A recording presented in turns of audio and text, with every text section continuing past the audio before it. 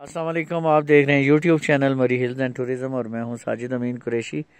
ये आज हम लोग बैठे हुए हैं जी, वो कहते हैं नफरी पूरी है। तो सारे बैठे हैं, माशाल्लाह ये देख सकते हैं आप आग जला के और मज़े कर रहे हैं जी।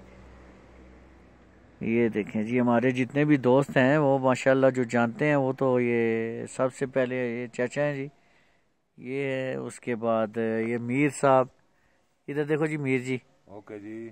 ਫਿਟ ਹੋ ਇਹ ਮੈਂ ਦੱਸਦਾ ਪਿਆ ਅਗਰ ਜ਼ੈਦ ਸਾਹਿਬ ਦੇਖ ਰਹੇ ਹੋਣ ਤੇ ਉਹ ਵੀ ਪਛਾਣਦੇ ਸਨ ਕਿ ਮੀਰ ਉਰੀ ਵੀ ਬੈਠੇ ਹਨ ਅੱਛਾ ਸਮਝਿਆ ਤੇ ਬਾਕੀ ਲੋਕ ਜਿਹੜੇ ਹੁੰਦੇ ਨੇ ਉਹ ਜਿਨ੍ਹਾਂ ਦੇਖਿਆ ਤੁਸੀਂ ਕੀ ਉਹ ਤੇ ਤੇ ਚਾਚਾ ਸੁਣਾਓ ਕੀ ਹੋ ਰਿਹਾ ਚਾਚਾ ਅੱਗ ਵਾਲੀ ਸੈਕਿੰਡ ਹੈ ਜੀ ਸਰਦੀ ਹੈ ਜੀ ਸਰਦੀ ਸਰਦੀ ਲੱਗਦੀ ਵੀ ਹੈ ਤੁਹਾਨੂੰ ਹੁਣ ਅੱਗ ਦੇ ਗਾੜੀ ਬੈਠੇ ਨਹੀਂ ਹੁਣ ਲੱਗਣ ਤੇ ਬਰਫ਼ ਤੇ ਲਵਾਉਂਦੇ ਨਹੀਂ ਪਏ ਹੋ ਤੁਸੀਂ ਤੇ ਬਸ ਉਹੀ ਗੱਲ ਹੈ ਸੁੱਕੀ ਆ ਗਈ ਹੈ ਅਸੀਂ ਅੱਗੇ ਟੁਰ ਗਈ ਹੈ ਜੀ ਹੈ ਜੀ ਬਰਫ਼ ਆਗਾ ਚਲੇ ਗਈ ਹੈ ਸਰ ਬਰਫ਼ ਦਾ ਕੀ ਬਣ ਸੀ ਬਰਫ਼ ਦਾ ਕੁਝ ਵੀ ਨਹੀਂ ਸਰ ਜੀ ਚੌਧਰੀ ਜੀ ਤੁਸੀਂ ਸੁਣਾਓ ਸ਼ੁਕਰ ਕੀ ਹੋ ਰਿਹਾ ਇਹ ਬਰਫ਼ ਦਾ ਕੀ ਬਣ ਸੀ ਬਰਫ਼ ਦਾ ਮੇਰ ਸਾਹਿਬ ਦੱਸਣ क्यों नहीं लवा रहे हो बर्फ ये कोई कम होया है ऐसा ना कि बस ਨੂੰ ਪਤਾ हाँ जी अली जी सुनाए ਸ਼ੁਕਰ ਅਲਹਮਦੁਲਿਲਾ क्या हो रहा है जी ਬਸ ਸਰ ਜੀ क्या कहते हो यार आपने अपने मनसेरा फोन किया नहीं किया किया था सर वहाँ बर्फ पड़ी है नहीं सर जी बर्फ कहाँ पे पड़ी क्या कहते हैं गलियात में भी नहीं पड़ी नहीं सर जी ये देख लें जी आज है जी तकरीबन 10 जनवरी 2024 है और आज के दिन की ये रिपोर्ट है कि अली साहब कह रहे हैं कि कई भी जो है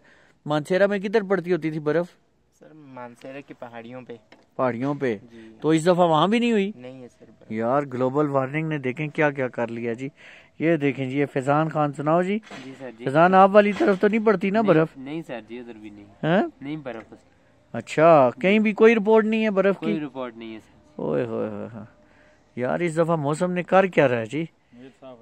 बस जी मौसम जो है वो बड़ा सर्द तो है लेकिन बर्फबारी नहीं है जी। सारी जी है ना जी इलेक्शन कमीशन दी मतलब है कि चाल है कि वो चाहती है कि इलेक्शन हो जाए तो सुबह बर्फबारी सही है सही है यानी इलेक्शन जो रुके हुए थे हाँ। ये हमारे मीर साहब कह रहे हैं जी कि ये जो इलेक्शन नहीं हो रहे थे ना वो इसलिए रुकी है कि चलो किसी बहाने इलेक्शन हो जाए सारे डरा रहे थे कि जी मौसम खराब है जी इलेक्शन नहीं होने चाहिए। तो अब माशाल्लाह इलेक्शन भी शुरू होने वाले हैं जी। इसी मौसम को देखते हुए कि धूपें लगी हुई हैं मौसम बड़ा खुशगवार चल रहा है और अल्लाह पाक खैर करेगा। इलेक्शन हो और कोई अच्छी स्टेबल गवर्नमेंट आए कोई अल्लाह पाक बेहतर करें और मुल्क में कोई जो है ना सारी सूरत हाल कोई बेहतर हो जाए जी।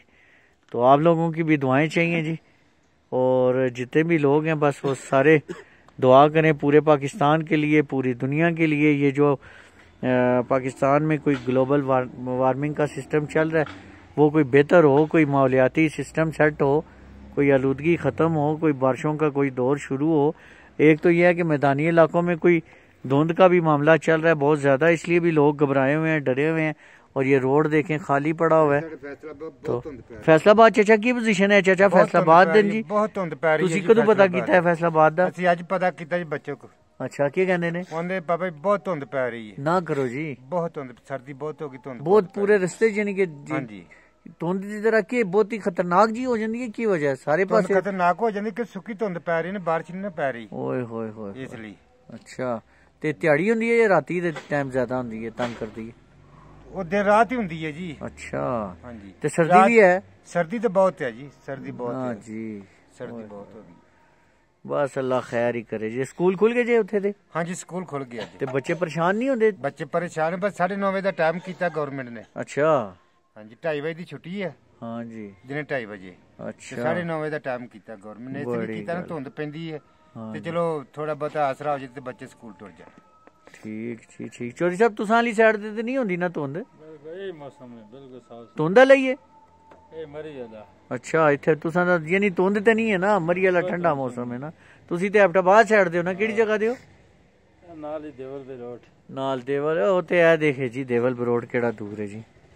ਸਮਝੋ ਉਹ ਤੇ ਸਮਝੋ ਮਰੀ ਹੋ ਗਿਆ ਨਾ ਮੀਰ ਸਾਹਿਬ ਵਾਲਾ ਇਹ ਮੀਰ ਸਾਹਿਬ ਤੇ ਇੱਥੇ ਹੀ ਦਈਆਂ ਨਾ ਜੀ ਇੱਥੇ ਦੇ ਆ ਜੀ ਅਸੀਂ ਕਹਿੰਦੇ ਆ ਇਲੈਕਸ਼ਨਾਂ ਤੋਂ ਬਾਅਦ ਮੀਰ ਸਾਹਿਬ ਦੀ ਤੇ ਜੰਮ ਪਾਲੀ ਇੱਥੇ ਦੀ ਹੈ ਨਾ ਜੀ ਇਹ ਮੀਰ ਸਾਹਿਬ ਦੀ ਤੇ ਮੇਰੀ ਕਿਸਮਤ ਹੀ ਚੇਂਜ ਹੀ ਇੱਥੇ ਹੀ ਰਹਿਣਾ ਹੈ ਬਸ ਇਹ ਦੋ ਸ਼ਹਜ਼ਾਦੇ ਨੇ ਨਾ ਜਿਹੜੇ ਇੱਕ ਅਲੀ ਹੋ ਗਿਆ ਤੇ ਫਜ਼ਾਨ ਹੋ ਗਿਆ ਤੇ ਇਹ ਚਾਚਾ ਹੋ ਗਏ ਇਹ ਤਿੰਨੋਂ ਜਿਹੜੇ ਇੱਕ ਫੈਸਲਾਬਾਦ ਹੋ ਗਿਆ ਤੇ ਦੋ ਜਿਹੜੇ ਨੇ ਤੇ मानसेरा साइड होगी जी एक बर्फ वाला इलाका तो एक सूखा इलाका चलो अल्लाह खैर करे जी बात जी जिनको ये थोड़ा सा हमारा ये वीडियो का जो आपको ज़रा मरी का माहौल बताया जी अगर पसंद आए चैनल को सब्सक्राइब करें लाइक करें शेयर करें और कमेंट बॉक्स में अपने कमेंट ज़रूर दें जी।